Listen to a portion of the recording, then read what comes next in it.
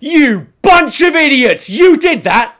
Holy fucking shit! Why? You could have done literally anything else and you chose to do this?